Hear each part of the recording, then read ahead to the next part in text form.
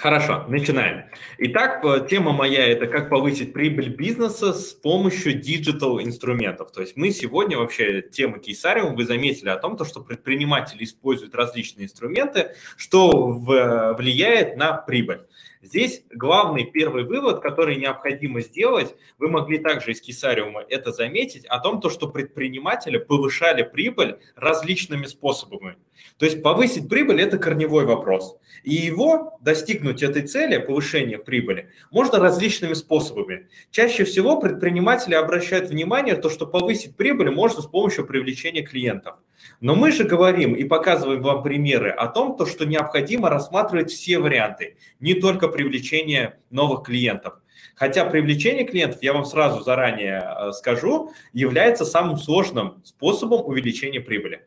Поэтому, если вы поставили перед собой задачу, а бизнесы ее всегда ставят, повышение прибыли, работайте над этой задачей со всех сторон. То есть и своей текущей клиентской базой работаете, и с точки зрения привлечения клиентов, и также с точки зрения и а, сокращения издержек. То есть у, у формулы у прибыли следующая, такая утрированная формула. Прибыль – это доход минус расход. Клиенты являются источником дохода. То есть если мы хотим повысить доход, это означает, что наша работа должна быть какая-то построена с точки зрения того, что мы как-то должны сработать по-новому с клиентом. Если же мы хотим снизить расход, и за счет снижения расхода мы также увеличиваем прибыль, это означает, что мы должны пересмотреть свои внутренние процессы. То есть мы должны собраться с своими менеджерами, со своими управляющими и что-то изменить в своем бизнесе. То есть доход – это влияние на клиентов, расход – это влияние на бизнес-процессы. Угу. И получается тема моего выступления, она следующая. То есть я расскажу, каким образом можно увеличить доход. Это будет пошаговая инструкция. Второе, каким образом можно снизить расход. Но здесь важный момент, то, что это нужно сделать без вреда дохода. И какие здесь будут рассмотрены способы. А, способы здесь перечислены от самых простых, то, что легче всего сделать, до самых сложных, то, что сделать ну, более более затруднительные или имеющие способы риски. Первый способ – это снижение расходов, то есть оптимизация. То есть каким образом можно оптимизировать текущий наш маркетинговый бюджет, либо бюджет работы с клиентами. Второй способ – это увеличение доходов от текущих клиентов. И действительно в текущей клиентской базе огромный потенциал. Вот используя даже первый и второй способ, мы видели множество примеров предпринимателей, которые повышали прибыль просто там на миллионы рублей. То есть на миллионы рублей просто используя первый и второй способ. Даже не привлекая ни одного нового клиента, бизнес начинает зарабатывать на плюс 20, плюс 30 и бывает даже плюс 50 там, и большее значение процентов увеличивается прибыль. И третий способ – это привлечение новых клиентов. И почему я говорю, что, что этот способ, он самый сложный? По той причине, то, что кли... Эм, привлечение клиентов, они за собой несут определенные инвестиции. То есть необходимо вкладывать в рекламу, необходимо вкладывать а, в продвижение компании. А если мы инвестируем что-либо, это правило, можно сказать, инвестиции, то это означает, что это за собой несет, несет риски. Например, мы распечатали баннер, потратили на это 100 тысяч рублей, и непонятно, вот выстрелит эта идея или нет. А может быть, по нему придут там всего два клиента на 50 тысяч, и все, означает, что мы деньги потеряли. Поэтому я всегда говорю, что привлечение клиентов нужно заниматься в некую, ну, так сказать, последнюю очередь а, с точки зрения прибыли. Поэтому необходим первый, второй способ, и потом уже третьим а, завершать это все привлечением клиентов. Хорошо, начнем по порядку. Начинаем с первого способа оптимизация наших маркетинговых расходов в бизнесе. И первое – это отказаться от скидочных карт, если они у вас еще есть. На этом долго не будем останавливаться, потому что я уже все меньше и меньше встречаю предпринимателей, которые используют такую программу лояльности да, в виде скидочной карты. Почему от нее нужно отказываться? Потому что скидка 5-10% отнимают деньги у бизнеса, то есть это означает, что прибыль бизнеса снижается на 5-10%.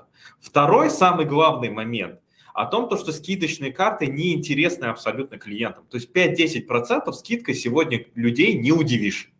И поэтому, как они это показывают вам люди, о том, то, что им не интересна эта скидка. Люди часто карту забывают, люди не заполняют анкеты на получение карты, а, теряют эти карты и так далее. Это все говорит о том, то, что клиентам, в принципе, и не нужна эта скидка. Они готовы были и без нее к вам возвращаться, но почему-то бизнес ее раздает в качестве того, чтобы удержать клиента. Но это способ абсолютно неэффективный пропускаем его абсолютно, то есть от этого нужно отказываться, если еще у вас такое существует.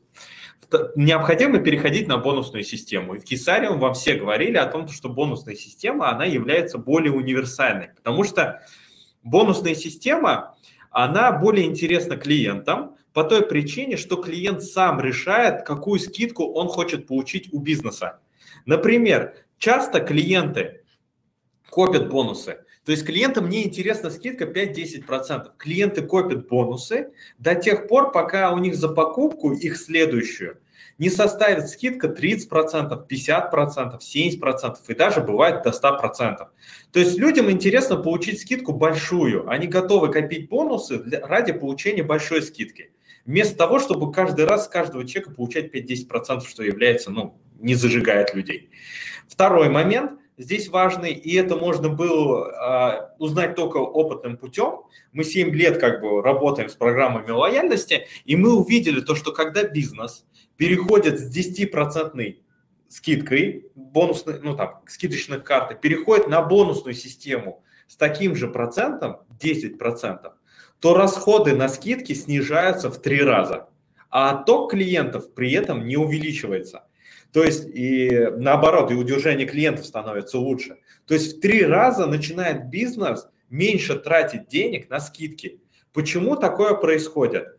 Первый момент. Люди, как я уже говорил, любят копить бонусы. А это означает, что человек пока копит бонусы, эти деньги, которые бизнес мог бы потратить на скидку, они остаются в кассе. То есть бизнес э, оставляет у себя деньги в кассе.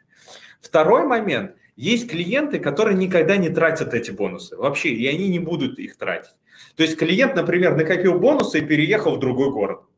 Все, бонусы у него так и навсегда и останутся на руках, и клиент никогда их не сможет потратить в этом бизнесе. А для бизнеса хорошо то, что, ну, как бы, бизнес оставил у себя деньги в кассе и не потратил деньги на скидку этому клиенту, клиенту, который никогда не вернется.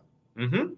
Ну и там есть еще несколько моментов, почему бонусные системы, они ну, являются выгоднее, чем а, скидочные. К тому же бонусные системы, если вы хотите хорошую программу лояльности, вы должны бонусы давать не только за покупки. Вы должны бонусы, об этом говорят и исследования, об этом говорит и наш опыт, о том, то, что клиентам значительно интереснее бонусные системы, программы лояльности, те, которые дарят бонусы не только за покупки, а за различные действия. Например, Клиент может сделать рекомендацию и получить за это бонус. Клиент может оставить отзыв и получить за это вот, э, бонус. Клиент может подписаться к вам в Инстаграм, если, если вы, вы сможете это отследить, и тоже за это получить бонус. Получить бонус на день рождения, получить бонус за 8 февраля, там, ой, 8 марта, извините, там, и на различные праздники. Или может получить бонус за определенный средний чек, если он его сделает. Там сделал чек определенный и за это получил дополнительные бонусы. То есть бонусная система должна быть гибкой. Давать нужно бонусы клиенту за те действия, которые вам нужны как для бизнеса. Если вы хотите, чтобы клиент оставлял вам отзывы в TripAdvisor, в Яндексе и в Гугле, давайте ему бонусы за эти действия. То есть оставил он отзыв вам в TripAdvisor, отправил вам фотографию, вы за это можете ему дать бонусы. Какие же, какой же инструмент использовать для бонусной системы? Лучше всего использовать мобильные приложения. Почему? Потому что а, а, в мобильном приложении можно показать вашу бонусную систему максимально ярко, понятно и интересно. То есть клиент видит свои бонусы, видит свою бонусную карту, видит, сколько он бонусов накопил, видит, когда эти бонусы, например, сгорят, видит, что он может сделать для того, чтобы получить больше бонусов, как, какой у него сейчас статус в компании и как ему перейти на там, на VIP-статус и так далее. То есть мобильное приложение подает эту информацию понятным образом для клиента, а это очень важно. Если вы хотите, чтобы клиента бонусы зажигали, и действительно возвращали вас в бизнес, в ваш бизнес, то клиент должен как минимум их видеть. И видеть он лучше всех может их в мобильном телефоне, то есть потому что мобильный телефон всегда с собой. Я знаю то, что есть альтернативные пути, например, Apple Wallet, Google Pay, когда карту можно себе в Wallet. Ну, в основном у Apple это более распространенная тема, когда карту можно добавить себе в Apple. Но здесь я вам скажу о том, что для бизнеса этого недостаточно. Мобильное приложение должно стать основным функционалом, потому что Apple Wallet имеет ограничения свои с точки зрения самой архитектуры Apple. То есть в Apple Wallet не покажешь те картинки, те образы, которые ты сделаешь в мобильном приложении. То есть в мобильном приложении можно сделать там и кросс-маркетинг, и там э, пуш-уведомления особенным образом отображаются и так далее. То есть мобильное приложение на перспективу функционал неограниченный.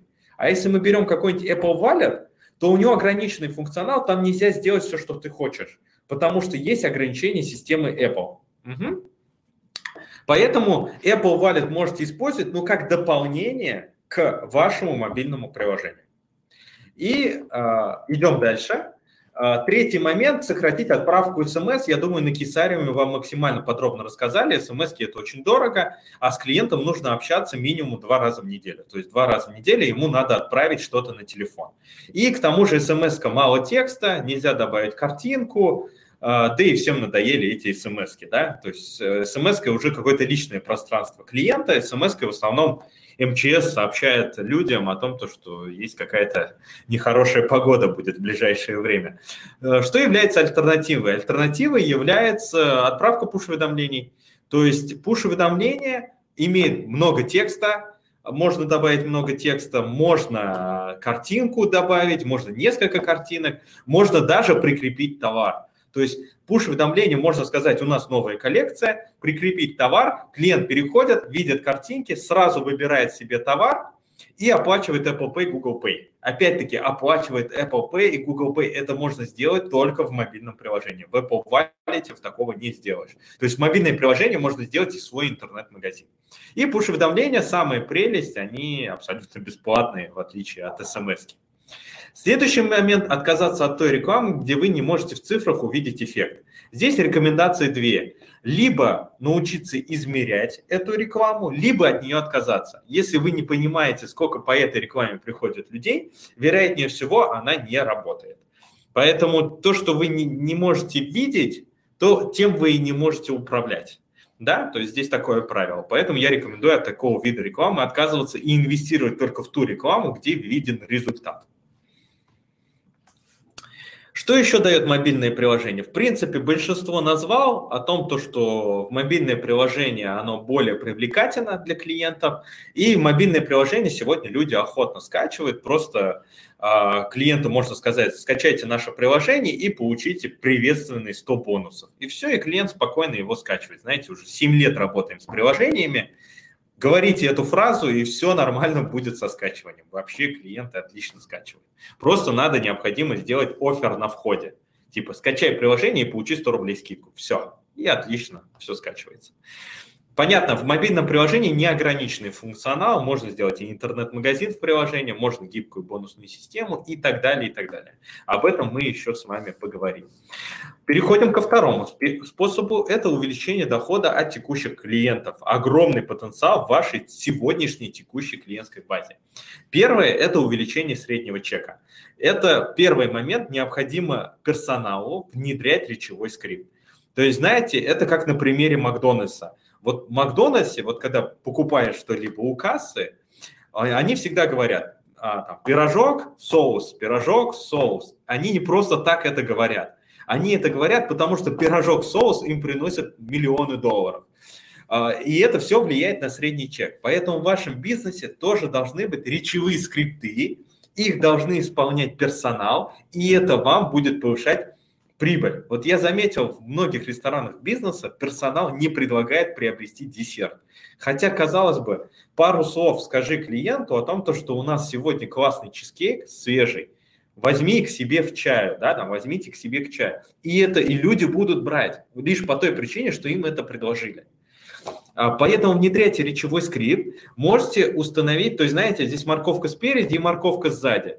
А, понятно, за этим нужно контролировать. Второе, вы можете придумать систему мотивации. Например, всему персоналу сказать, вот за проданные десерты, если это ресторанный бизнес, с каждого проданного десерта вам будет премия плюс 20% от ну, проданного десерта, там, плюс 10% от каждого проданного десерта. Такие мотивации нужны для того, чтобы ввести эту культуру персонала, чтобы ему еще интересно было это делать с точки зрения денег. Или можете устроить какой-то конкурс среди персонала, тоже на какое-то вознаграждение, чтобы люди научились повышать средний чек, да продавать что-либо. Второе, помощь вам, digital-инструменты, можно сделать так, опять-таки, гибкая бонусная система нам в помощь, о том, то, что клиент, например, делает средний чек 800, и ему кассир говорит, ты купи еще вот это на 200 рублей, у тебя будет чек 1000, и ты, э, и мы тебе эти бонусы, вот эти 200 рублей, вернем в виде бонусов. То есть ты за этот чек получишь дополнительные бонусы. То есть 800 рублей получаешь обычные бонусы, как есть, а если 1000 чек от 1000, то у тебя уже идут доп. бонусы. Это можно сделать с помощью электронных сертификатов. Да? То есть как, каким образом это выглядит? Клиент делает средний чек 1000, ему приходит электронный сертификат на 200 бонусов, которые действуют в течение 5 дней, например. И здесь мы, получается, убиваем трех зайцев. Первое, мы повысили средний чек. Второе, клиент точно придет в течение пяти дней потратить свои бонусы, потому что он их заслужил, он за это потратил больше денег ради этого сертификата. И третье, клиент придет в течение пяти дней, потому что а, а это повышает частоту покупок. То есть если клиент посещает раз в месяц вас или раз в неделю, то за счет вот таких сертификатов клиенту можно вот этот срок повторного посещения его сократить, и клиент будет ходить чаще. И вот здесь вот вторая тема, каким образом повышать частоту покупок. Это можно делать таким способом, отправляя клиентам электронный сертификат, который дает бонусы, но на определенный срок жизни. А, поздравление с днем рождения хорошо работает на эту тему. А, а так как у вас есть мобильное приложение, теперь вы будете знать, когда день рождения у клиента. То есть мобильный телефон собирает эту информацию. И, понятно, новости и пуш-уведомления всегда подогревать интерес э, клиента. Идем дальше. Третий, альтернативный способ продажи. Если у вас офлайн точка, то рассмотрите себе возможность что-либо продавать в онлайне. Например, салоны красоты начали продавать косметику, а фитнес-центры начали делать онлайн-тренировки.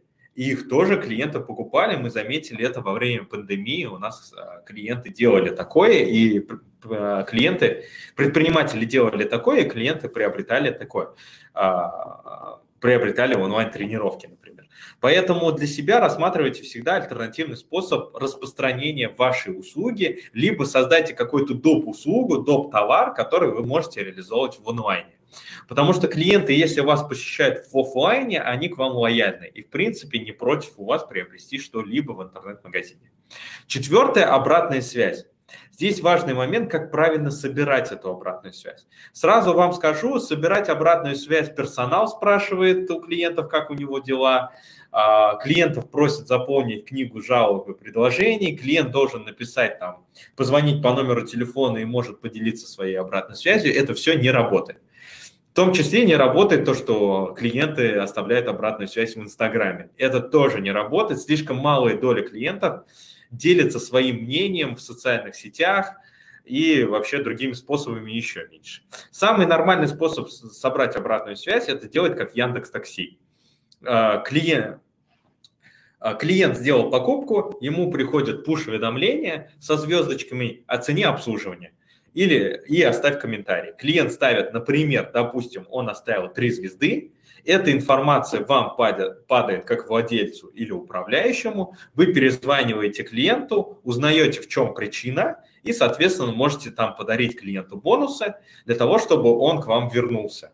Вот таким образом можно удерживать клиентов. То есть правильный сбор обратной связи позволяет понимать, как дела в бизнесе, Второе позволяет возвращать клиента. То есть клиент оставил три звезды, в принципе, он, значит, не готов возвращаться, но если ему перезвонить и сгладить конфликт, то он будет готов к вам вернуться. И э, третий способ привлечения новых клиентов. Этих способов довольно много, но я затрону два способа. Это запуск реферальной системы, то есть э, мотивировать клиентов рекомендовать ваш бизнес и кросс-маркетинг.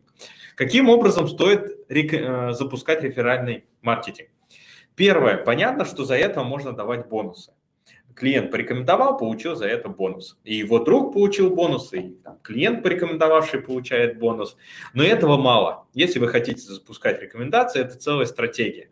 То есть необходимо в Инстаграме записывать видео, там вы показываете клиентам, там, здравствуйте, говорите, наш бизнес можно рекомендовать, как это делать, вот так это делайте, ваш друг получает скидку, и вы получаете бонусы, то есть записывать вот такие видео, объясняющие людям, как можно вас рекомендовать, и то, что у вас есть такая функция. Второе, запускать конкурсы. Кто больше всех порекомендует в неделю? Третье, постоянно в постах в Инстаграме периодично об этом напоминать, о том, что вас можно порекомендовать. И следующее, это персонал должен вам тоже как в качестве речевого скрипта говорить о том, что ваш бизнес можно рекомендовать вот таким вот образом. И постоянное напоминание клиентам о том, что это можно сделать, и повышает количество рекомендаций. То есть просто дать бонусы и ничего больше с этим не делать, это так не работает. Необходимо это процесс всегда напоминать и форсировать. Потому что клиенты не рекомендуют вас по той причине, что они просто об этом не задумываются, что это можно сделать. А если вы будете им об этом говорить, то вероятность того, что они сделают, повышается. Второе – кросс-маркетинг. Кросс-маркетинг мы сделали автоматизированным, и на это есть несколько причин. То есть кросс-маркетинг а, – это способ привлечения клиента без риска. Почему здесь нет рисков? Например, каким образом это может работать? Я пришел в ресторан, сделал определенный чек, и мне приходят электронные сертификаты со скидкой в салон красоты и со скидкой в автомойке. Ресторану хорошо о том, то, что он дает дополнительные подарки своему клиенту за то, что клиент у него кушает. А другим бизнесам салона красоты и автомойки хорошо, то что для них это новые клиенты. И если например, я владелец автомойки, ко мне придет клиент и потратит свой сертификат, хорошо, у меня появился новый клиент. Если он не придет и не потратит свой сертификат, ничего страшного, я на это не потратил ни рубля. Я даже не печатал эти сертификаты, потому что они электронные. Да? То есть вот такой вот способ взаимообмена клиентской базе и повышает количество клиентов новых за счет вот просто кросс-маркетинга, за счет сотрудничества с другими компаниями. Почему сертификаты должны быть электронными? Первое. Бумажные сертификаты клиент теряет, э, рвет и ну, все, что с ними происходит. Положил в карман куртки и забыл. Почему? Электронные сертификаты всегда о себе напоминают. То есть они, во-первых, более информативны. Ты смотришь, так, срок действия такой-то, такую-то скидку дают. Вот э, провалился в сертификат, посмотрел адрес компании, где это вообще находится. Да? Все это происходит в мобильном приложении. А, к тому же электронный сертификат о себе напоминает, он не теряется, и он о себе напоминает о том, что если вдруг там остался срок жизни у него три дня, он отправляет пуш-уведомление клиенту и говорит, слушай, там, скоро пропадет сертификат, воспользуйся им. И тем самым клиента ну, повышает вероятность того, что он придет по кросс-маркетингу. Важное правило кросс-маркетинга – работайте с несколькими компаниями одновременно. То есть не делайте партнерство только с одной компанией делайте сразу одновременно, например, с тремя компаниями. Потому что так бывает, то, что кросс-маркетинг с одной компанией не сработал, со второй компанией не работает, а вот с третьей компании пришли 20 новых клиентов, и это круто. То есть здесь история про большие эксперименты, то есть про, про несколько экспериментов. То есть надо делать кросс-маркетинг с несколькими компаниями одновременно. И э, я уже завершаю. Какие же итоги я хотел здесь подвести в этом вебинаре? Первое. Повышение прибыли не только за счет привлечения новых клиентов. Если вы повышаете прибыль в бизнесе, делайте это различными путями, различными способами. Второе. Внедряйте современные инструменты. Современные инструменты не только дешевле, но еще и эффективнее. То есть э, вы должны быть с клиентом прямо на одной волне. Клиент пользуется всем современным смартфонами, приложениями и так далее. Это означает, что ваш бизнес должен с клиентом быть на одной волне и тоже быть в приложении, тоже быть там, с пуш-уведомлениями и так далее. Отказывайтесь от того, что нельзя измерить. Нельзя измерить, нельзя контролировать. То есть отказывайтесь от той рекламы, которой непонятен выхлоп. Если хотите измерять, нужна CRM-система. CRM-система нужна вообще каждому бизнесу. Вы должны у клиента знать имя, фамилия, дату рождения, когда последний раз ходил и так далее, и так далее. Рекомендует он вас или не рекомендует, какую обратную связь оставляет и так далее. Только ведение социальных сетей Инстаграм недостаточно для работы с клиентами. Знаете, это такая боль в нашей практике о том, что мы приходим в бизнес, рассказываем о том, то, что вот смотрите, есть современные инструменты, вот так можно работать с клиентами, и предприниматель нам говорит, слушайте, у меня есть Инстаграм, у меня там все. Ну, то есть подписчики – это мои клиенты, клиенты оставляют обратную связь в Инстаграме, там Инстаграм является единственным там и самым самым-самым способом продвижения компании. Это не так. Это неправда. Подписчики – это всего лишь подписчики. Еще и нисколько не значит, что они ваши клиенты. В Инстаграме люди не оставляют обратную связь. Оставляют, но крайне мало. Этого недостаточно бизнесу для понимания объективной ситуации, что вообще в бизнесе происходит. Да? То есть в Инстаграме огромная конкуренция и используют только один инструмент Инстаграм – Сегодня Инстаграм есть у любого бизнеса. Если ты используешь Инстаграм, ты один из, one of, такой же, как и другие. Если твой бизнес хочет быть конкурентоспособным, ты должен использовать и другие инструменты. А, другие инструменты для продвижения твоей компании, для работы с клиентами. Поэтому одного Инстаграма здесь недостаточно. И э, мы заметили в своей практике, много участвуем в маркетинговых форумах, на круглых столах, много общаемся с предпринимателями, мы заметили главный вывод сегодня о том, то, что сегодня бизнес, его развитие заключается в технологичном развитии. Не с точки зрения, там, понятно, надо повышать сервис, понятно, надо там а, лучше работать с клиентами, лучше с ним общаться и улыбаться ему. Но это получается только у тех компаний, которые вводят систему автоматизации, потому что система автоматизации позволяет с людьми лучше налаживать контакты. Поэтому сегодня развитие бизнеса именно в технологичном развитии. То есть кто технологически развивается, тот и развивается вообще на рынке. Вы можете заметить крупные бренды, все себе делают мобильные приложения, все себе там внедряют новые инструменты. Поэтому вы должны быть, если вы малый бизнес, вы должны быть как крупный бизнес, работать с такими же инструментами. Ну и мы здесь завершаем, мы предлагаем комплекс инструментов, то есть не нужно ничего выдумывать, не нужно ничего разрабатывать, все уже давно готово и все довольно доступно. То есть UDS – это инструменты по повышению прибыли бизнеса который включает в себя и мобильные приложения, и CRM-система и так далее. То, что, в принципе, я вам уже, о чем я вам уже рассказал. Почему именно UDS? Потому что, во-первых, это готовое решение и быстрая установка. То есть вы сразу берете, там не тянете год, полгода, пока вы сделаете свое приложение и так далее, и так далее, которое еще, вероятнее всего, ну, мы часто видим, что оно не запускается. А, а тут готовое решение взяли и пользуетесь, да, зачем выдумывать велосипед. А, второе, мобильное приложение агрегатор, это очень важный момент. Можете мне не верить слову о том, то, что вот а, есть утверждение, то, что если малый бизнес или средний бизнес делает себе собственное мобильное приложение, оно не приносит ему толку. Почему? Потому что его не скачивают и быстро удаляют. Потому что клиентам не хочется скачивать приложение одного какого-то ресторана, одного какого-то салона красоты. Он не, не удерживает это приложение у себя в телефоне. Тем более, например, там, в салон красоты клиент ходит раз в месяц. Он не будет держать приложение ради того, чтобы раз в месяц им воспользоваться. И сегодня выигрывают агрегаторы, потому что вот UDS – это агрегаторы, это продукт, в котором вот много различных компаний. То есть клиент скачивает агрегатор, он, скачивая агрегатор, сразу понимает о том, что это приложение он сможет использовать в некоторых компаниях, в разных компаниях, что уже дает уверенность скачиванию. Второе, он его использует чаще, потому что он использует в автомойке, там, в салоне красоты, там, в ресторане и так далее, и так далее. И что, в принципе, удерживает его внутри приложения. А, и а, вот можете даже это проверить, как я уже говорил, вы можете зайти в Play Market или App Store и посмотреть количество скачиваний у самостоятельных приложений. То есть найти приложение какого-нибудь ресторана, найти приложение какого-нибудь салона красоты и можете посмотреть количество установок. Оно крайне малое, потому что люди не готовы скачивать одно какое-то конкретное приложение.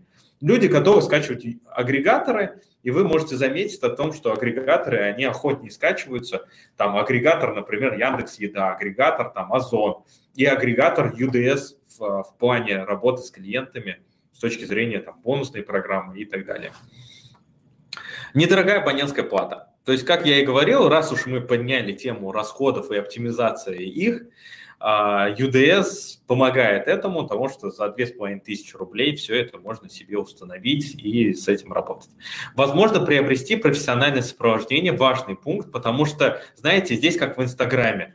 Здесь, в Инстаграме вы можете нанять SMM-менеджера, специалиста, который вам сделает Инстаграм так, как нужно. В UDS то же самое. Вы можете нанять себе специалиста по работе с UDS, внедренца UDS так называемого, который вам сделает все как надо. Потому что у него есть опыт, он знает уже, как это все работает, он быстро обучит, быстро запустит и ну, настройки внесет те, которые нужно, которые работают.